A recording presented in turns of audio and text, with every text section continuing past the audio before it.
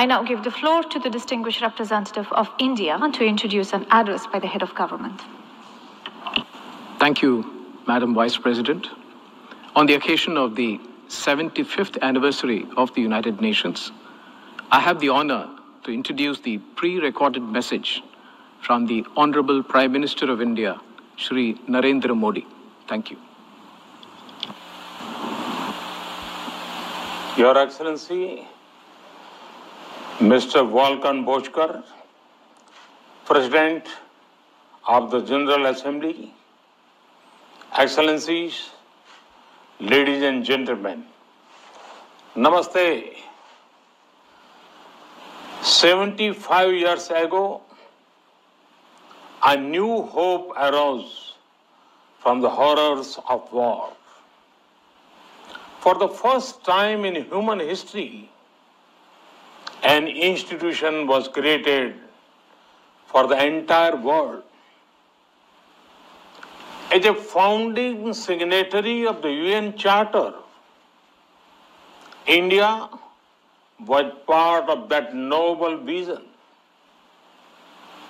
It reflected India's own philosophy of Vasudhaiv Kutumbakam, which sees all creation as a family.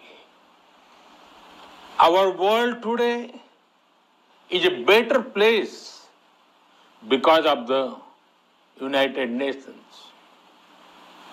We pay tribute to all those who have advanced the cause of peace and development under the UN flag, including in UN peacekeeping missions, where India has been a leading contributor. However, while much has been achieved, the original mission remains incomplete.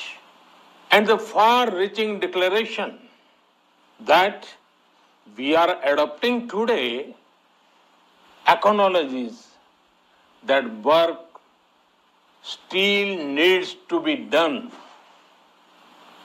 in preventing conflict, in ensuring development, in addressing climate change, in reducing inequality, and in leveraging digital technologies.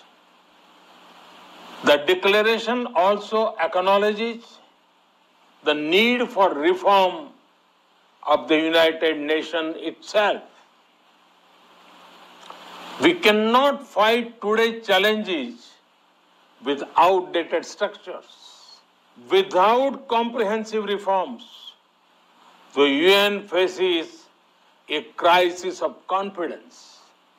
For today's interconnected world, we need a reformed multilateralism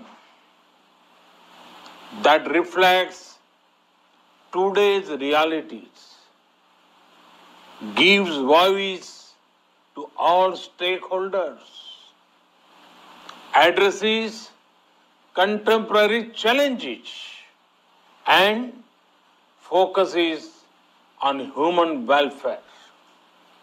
India looks forward to working with all other nations toward this end. Thank you. Namaste.